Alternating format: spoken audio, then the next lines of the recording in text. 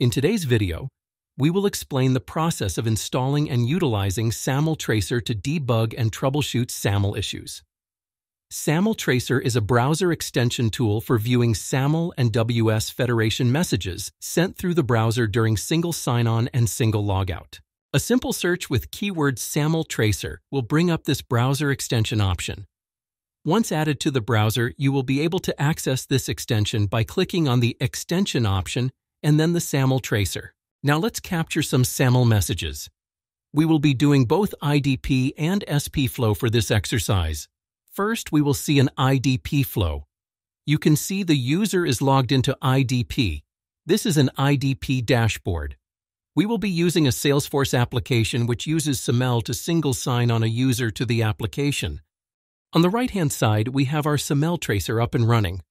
So let's unpause it, and you will see that when we click on the application tile, the SSO part is working and SAML messages are being passed. Go ahead and pause it again so that you can view the messages. The message that we are interested in is the one which is highlighted and which says SAML. Click on it, and you can see that some more tabs are visible at the bottom. This is the whole SAML response that was sent from Okta to the application or from the IDP to the application. This is the SAML response. You can see the certificate being highlighted here. You can see the username that was sent. And if you keep scrolling down, you can see some attribute statement that was passed from IDP to the application. There is another tab, Summary. You can click on the Summary tab if you don't want to see the whole content. It goes over the same information, only some highlighted information. Now let's take a look at SP Flow. We would be using Salesforce application URL to initiate a SP flow. The user is already logged in the IDP. Let's unpause the SAML tracer again and let's initiate the SP flow. As you can see, there were two SAML messages. Let's pause it again.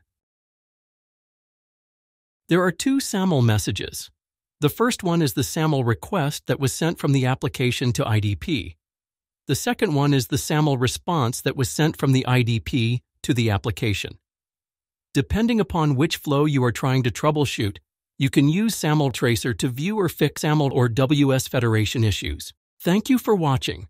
If you found this video useful, we encourage you to like and subscribe to stay up to date with our latest help resources.